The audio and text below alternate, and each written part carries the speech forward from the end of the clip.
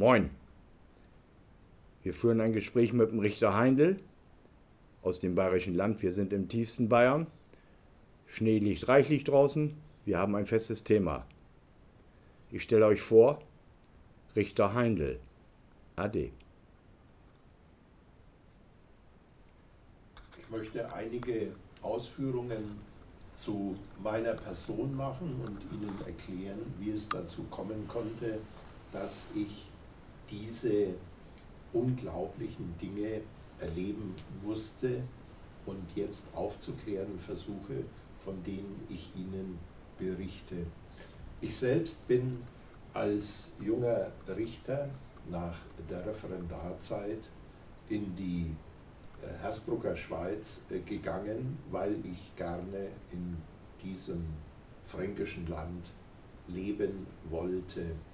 Ich habe mich dort in einem fränkischen Dorf niedergelassen und war mit den örtlichen Verhältnissen gut vertraut. Ich bin in den Gesangsverein und in die Feuerwehr eingetreten und war dann auch bei der Kirche in einer Funktion tätig gewesen.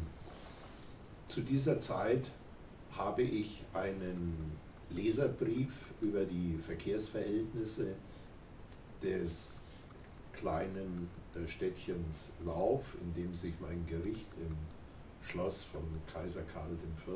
befunden hatte, geschrieben, da ich den Eindruck hatte, dass man diese Verkehrsverhältnisse verbessern könnte und dadurch die Zahl der Unfälle drastisch gesenkt werden könnte. Dieser Brief ist von der Kommunalpolitik gut aufgenommen worden und ich wurde dann von der SPD gefragt, ob ich nicht bei der SPD mitwirken würde in der Kommunalpolitik. Ich habe zugesagt und da ich in der Bevölkerung eine gute Resonanz hatte, äh, bin ich in den Stadtrat von Lauf und in den Kreistag des Landkreises Nürnberger Land gewählt worden. Ich wurde dann Fraktionsvorsitzender der SPD im Laufer Stadtrat und ich wurde äh, der Obmann für den Kreisausschuss der SPD im Landkreis Nürnberger Land. Diese Arbeit hat mir Spaß gemacht. Äh, Im Jahre 1984 kam jedoch eine Störung in dieser Arbeit und das entwickelte sich folgendermaßen. Ich hatte äh, im Januar äh, geheiratet, ich hatte eine Türkin äh, geheiratet und das war für die SPD äh, ein ziemlicher Schock äh, gewesen. Es waren damals äh, Wahlen zum Stadtrat und ich hatte ein sehr gutes Ergebnis und die Partei fasste einen Beschluss, dass ich doch zum zweiten Bürgermeister der Stadt äh, Lauf kandidieren möge. Ich tat dies, aber die Hälfte der Fraktion hat mit der CSU gestimmt und den CSU-Bürgermeister, der für dieses Amt kandidierte, gewählt. Das hat mich damals sehr äh, getroffen äh, und ich bin aus der Partei ausgetreten. Ich habe später, sehr viel später, in einem Bericht des ehemaligen Mercedes-Vorstandsvorsitzenden Edzard Reuter gelesen, dass man seinem Vater einen ähnlichen Vorwurf gemacht hat, wie man mir damals in der Partei gemacht hat. Man sagte zu mir, wir wollen keinen Türkenbürgermeister haben. Und damit brachte man zum Ausdruck, dass ich für die SPD nicht mehr tragbar gewesen bin, weil ich mit einer Türkin verheiratet war. Und dem Vater von Edzard Reuter, dem regierenden Bürgermeister von Berlin, Fritz Reuter, ist Ähnliches im Jahre 1947 widerfahren. Er hat im Vorwärts lesen müssen, als er zum Bürgermeister der Stadt Berlin kandidierte, wir können keinen Türkenbürgermeister gebrauchen. Das muss man sich also auch schon mal auf der Zunge zergehen lassen, dass solche Aussprüche von der SPD kommen. Ja. Wenn ich damals das äh, gelesen hätte und ich erlebt hätte, dass ich also in derart guter Gesellschaft mit diesem Vorwurf mich befinde, hätte ich es vielleicht lockerer weggesteckt, als ich es damals weggesteckt habe. So habe ich mich getroffen gefühlt, meine Frau hat sich getroffen gefühlt und ich bin also aus der SPD ausgetreten. Um die Situation äh, zu schildern, in der wir damals lebten, will ich eine Begebenheit äh, darlegen. Als wir geheiratet haben, haben wir den Stadtrat von Lauf zu unserer Hochzeit, zu unserem Polderabend eingeladen. Und da haben die Stadtratskolleginnen und Kollegen hinter unserem Rücken auf unserem Polterabend Wetten abgeschlossen, wie lange unsere Ehe halten wird. Da haben uns die Pessimisten sechs Wochen gegeben und die Optimisten drei Jahre. Das Ereignis war, wie gesagt, vor 30 Jahren und die Wetter und Wetterinnen von damals, deren Leben kann ich ja verfolgen, sind mittlerweile alle geschieden, eine davon sogar schon zweimal rechtskräftig. Das aber nur am Rande. Mhm, danke. Ich habe dann von äh, dem damaligen Parteivorsitzenden Schönhuber, der Republikaner, ein Angebot bekommen, dass ich mit ihm äh, zusammen die Republikaner doch als eine Art Rechtsstaatspartei, also eine Partei rechts von der FDP, so hat er sich das vorgestellt, führen würde.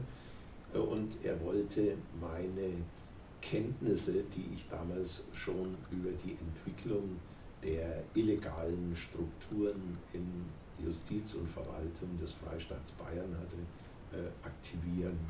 Ich möchte dazu sagen, äh, Herr Schönhuber war zu dieser Zeit ein Mensch, der aus der Arbeit des Bayerischen Rundfunks hervorgegangen ist, der der, Verträger, äh, der Träger der Bayerischen Verdienstmedaille gewesen ist und äh, der ersichtlich darum kämpfte, äh, die Gefahren des Rechtsstaats, die zu dieser Zeit schon erkennbar gewesen sind, äh, abzuwenden. Ähm, später hat er dann mit Herrn Le Pen in Frankreich Verbindung aufgenommen und hat eine Rechtslastigkeit bekommen, die für mich auch nicht mehr tragbar gewesen ist, sodass ich aus äh, der Partei ausgetreten bin. Betonen möchte ich aber, dass meine Frau in dieser Partei immer mit größtem Respekt behandelt worden ist. Wenn es Übergriffe auf meine Frau gegeben hat, und die hat es gegeben, dann sind sie von der CSU gekommen und von keiner anderen Partei. Und äh, jetzt möchte ich, um das Bild äh, abzurunden, Ihnen äh, etwas davon erzählen, wie solche Übergriffe der CSU aussehen. Im August 2000 hat man versucht, mich als Richter und als Gefahr, die illegalen Strukturen des Freistaats Bayern aufzudecken, äh, aus dem Verkehr zu ziehen, indem man mich in die Psychiatrie verschleppen wollte. An einem Morgen um 8 Uhr, wir saßen gerade beim Frühstück, ähm, ist äh, die Polizei mit einem Krankenwagen vorgefahren. Es waren außerdem noch ein Wagen mit zwei Bediensteten des Landkreises Nürnberger Land da. Und sie hatten einen Beschluss eines Richterkollegen des Amtsgerichts aus Hersbruck, dass ich also wegen Gemeingefährlichkeit in der Psychiatrie äh, zu verwahren äh, sei. Ähm, ich wurde also festgenommen und wurde in den Krankenwagen gesetzt und es setzte sich ein Polizeibeamter zu mir und es setzte sich dann eine Karawane in Bewegung. Das erste Fahrzeug war ein Polizeifahrzeug, in dem weitere Polizeibeamte saßen. Dann kam der Krankenwagen mit dem Polizeibeamten und mir und dahinter fuhr der neutrale Pkw des Landkreises Nürnberger Land mit den Bediensteten der Betreuungsstelle. Und ganz hinten hatte sich meine Frau mit unserem Auto dieser Karawane angeschlossen. Als wir zur Psychiatrie am Europakanal in Erlangen gekommen sind, ist diese Karawane zum Stillstand gekommen, weil man warten musste, dass die Schranke aufgeht.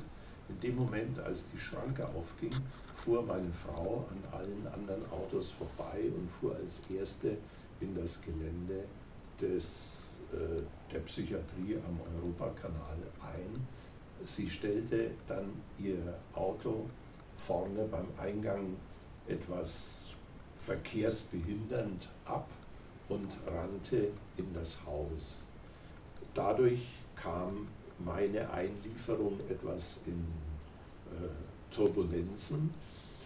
Ich wurde dann von der Polizei in das Foyer dieses Gebäudes geführt und da geht eine Treppe nach oben zu anderen Stationen und links ist eine Tür zu der geschlossenen Station. Es wurde an dieser Tür geklingelt und in dem Moment, als die Tür sich öffnete, kam meine Frau von hinten angerannt, stieß den Polizeibeamten zur Seite, lief in äh, die geschlossene Abteilung der Psychiatrie hinein, setzte sich in diesem Vorraum auf einen Hocker und rief, und hier gehe ich ohne meinen Mann nicht wieder raus. In dem Moment bin ich in äh, die Psychiatrie hineingegangen, weil ich gedacht habe, ich muss ja sowieso, ich bin von der Polizei gezwungen und habe mich neben meine Frau gesetzt. Es erschien die Frau Dr. Grohe, die damals die Leiterin dieser Psychiatrie, dieser geschlossenen Abteilung gewesen ist, und verlangte von der Polizei, dass sie also meine Frau aus dem Raum entferne. Der Polizist sagte, da müssen Sie die Erlanger Polizei holen, dafür sind wir nicht zuständig drehte sich um und ging weg und die Bediensteten des Landkreises Nürnberger Land schlossen sich ihm an. In dem Moment hat die Frau Dr. Grohe die Tür zugeworfen und mit so einem stampfenden Schritt verschwand sie nach hinten in einen Gang und der Hofstaat, den sie hatte, also die Pfleger, die alles waren etwa vier, fünf Pfleger, die um sie herum gestanden waren, liefen hinter ihr her und verschwanden. Ich saß dann also mit meiner Frau vielleicht sieben, acht Minuten alleine in diesem Vorraum, als plötzlich eine junge Frau, eine blonde Frau mit zwei Zöpfen, äh, auf uns zukam. Man dachte, es handelt sich ein um ein junges Mädchen, bei dem man nicht ganz sicher ist, ob sie schon das Abitur hat oder noch aufs Abitur lernt. Sie stellte sich als die Frau Assistenzärztin Rouet vor und sagte, sie möchte ein Aufnahmegespräch mit mir führen. Meine Frau ging sofort dazwischen und sagte, ohne sie wird hier nichts gemacht und sie möchte also dann bei diesem Gespräch dabei sein. Äh, ich habe dann etwas äh, vermittelt und habe mich mit meiner Frau und der Frau Rouet geeinigt, dass wir in das anschließende Arztzimmer gehen und äh, erst die Frau Rouet mit mir ein Gespräch führt und ich wollte ihr dann darlegen, dass ich also hier verschleppt worden bin und dann sollte sie mit meiner Frau ein Gespräch führen. Ähm, ich verschwand also mit der Frau Rouet in diesem Zimmer und meine Frau nahm sich den Hocker, auf dem sie bisher gesetzen, gesessen war, und stellte den direkt vor die Zugangstür zu diesem Arztzimmer. Ich war in dem Raum und habe mit der Frau Red vielleicht vier oder fünf Sätze wechseln können, als plötzlich vor der Tür ein Riesengeschrei losging, fast unmenschliche Stimmen. Eine dieser Stimmen war die von meiner Frau und ich bin sofort zur Tür raus und da stand sich die Frau Dr. Grohe und meine Frau direkt gegenüber. Es war vielleicht zwischen den Gesichtern 30, 40 Zentimeter äh, Abstand und die Frau Ruet, äh, die Frau Dr. Grohe schrie immer so mit dem Kopf nach oben, Stuhl, Stuhl! Und meine Frau schrie immer ins Gesicht, Humanität, Humanität.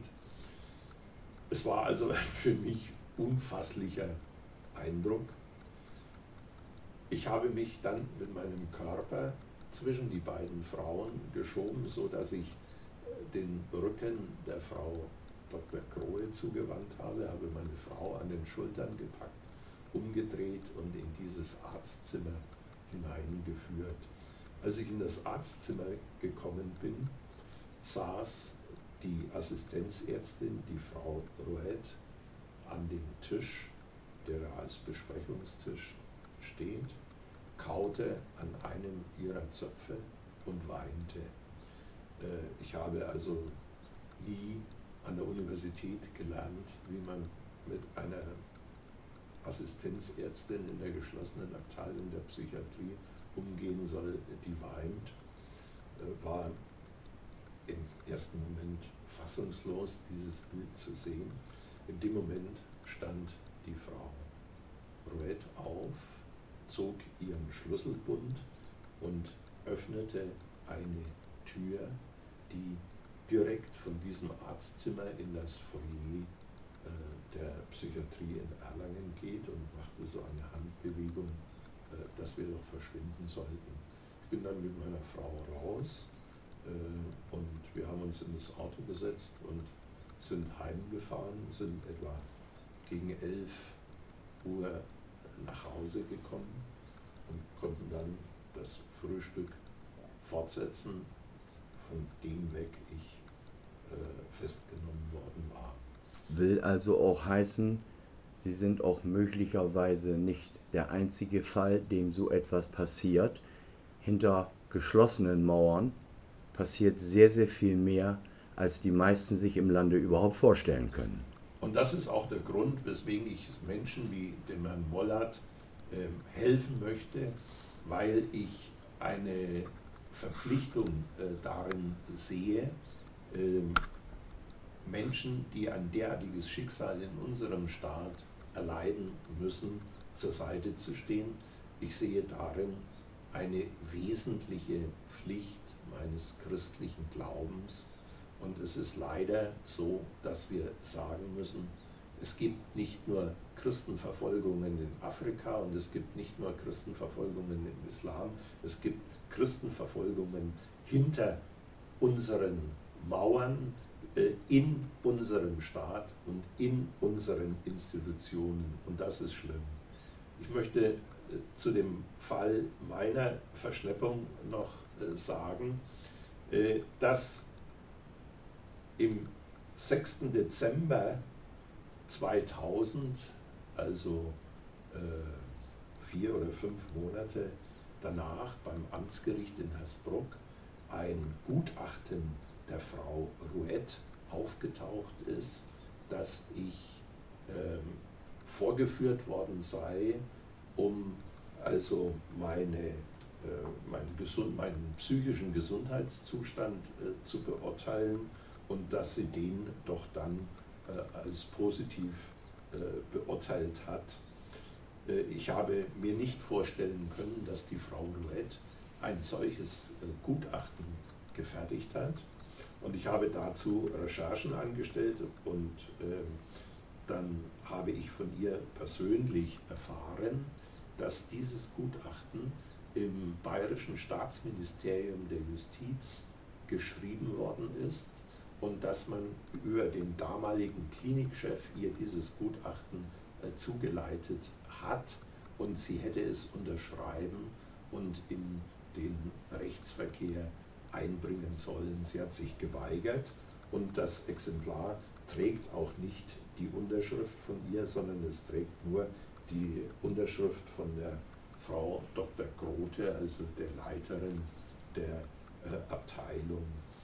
Ähm, es hat mich dann natürlich interessiert, äh, wer und unter welchen Umständen äh, dieses Gutachten in Anführungszeichen äh, im Justizministerium hergestellt worden ist. Und ich konnte in Erfahrung bringen, dass der damalige Ministerialrat Wolfgang Held der Verfasser dieses Gutachtens ist. Was für eine Position hatte Wolfgang Held insgesamt zur Politik gesehen oder zur Psychiatrie gesehen? Äh, Wolfgang Held war der Beauftragte des Ministerpräsidenten Strauß äh, gewesen, die äh, Justiz sozusagen für die bayerische Staatsregierung dienstbar zu machen. Er war äh, stellvertretender Generalsekretär der CSU gewesen und ist also von diesem Posten dann zum Ministerialrat im Justizministerium äh, befördert worden und äh, hat äh, Dinge getan, äh, die also jetzt erst so allmählich äh, hochkommen. Unter anderem ist auch Herrn Dr. Schlötterer bei Abfassung seines Buches Macht und Missbrauch aufgefallen, dass Herrn Ministerialrat Held einige höchst problematische Dinge im bayerischen Justizministerium anzulasten sind. Das heißt, er sorgte dafür oder sollte dafür sorgen, dass die Justiz bereinigt wird von Leuten, die nicht dem System folgen.